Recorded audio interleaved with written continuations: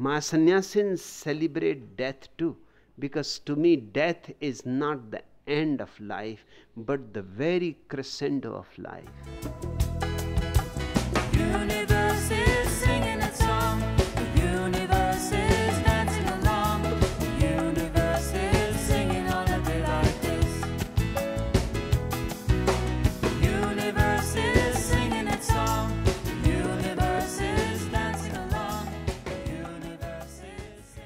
Whenever somebody dies, somebody you have known, loved, lived with,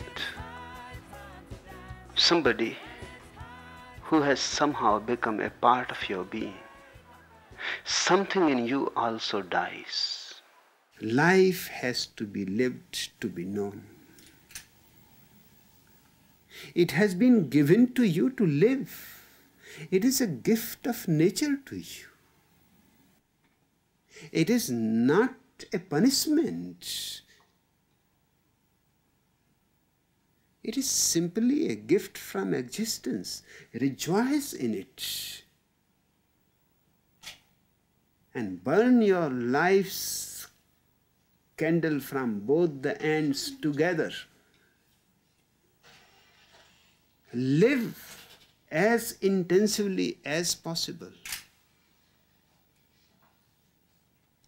And the very taste of life will give you the clue why death is not to be feared. In my religion, death is celebrated because there is no death.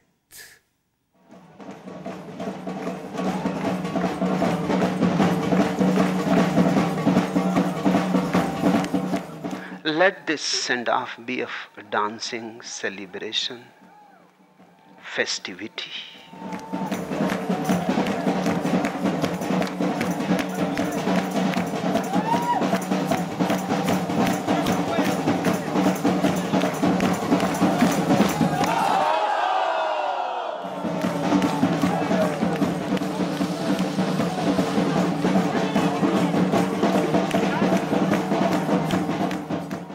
Dance as much as you can. Let your whole energy become a dance.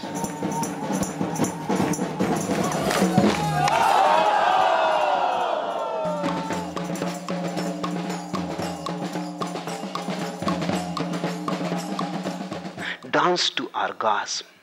Forget yourself completely. When you are happy, and bubbling with some unknown joy, then your eyes are clear. Then they have a clarity. And for this moment, deep clarity is needed so that you can see the body burning on the funeral pyres and you can also see the spirit moving away.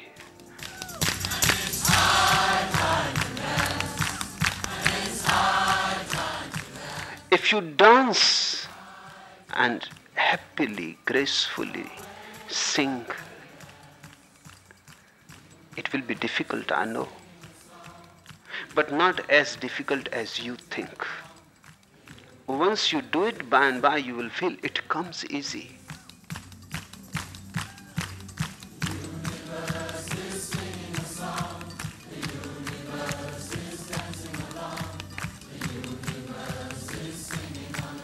It is a moment of rejoicing.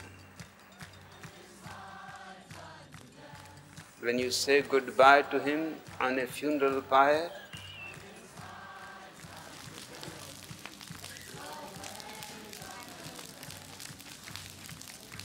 when you have lived in your body for so many years, there arises naturally a certain attachment to the body.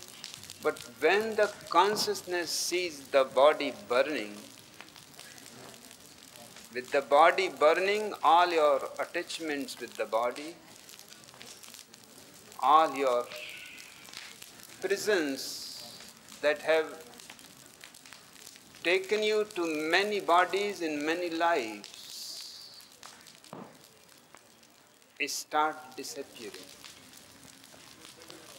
one feels tremendous freedom rising with the flames towards the sky.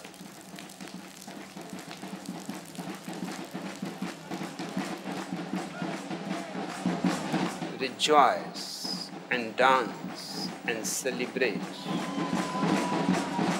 Such a death is rare.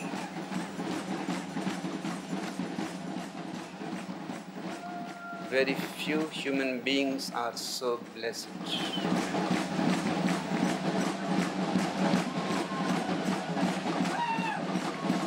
Even small kids, if they want to go, take them with you. Let them also face the truths.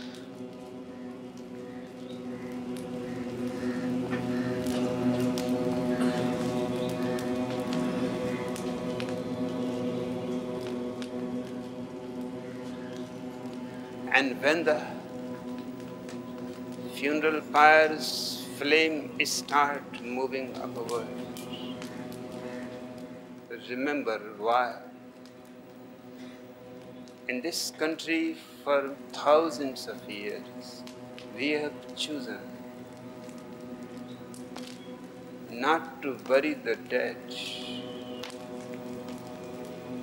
but to give them to fire.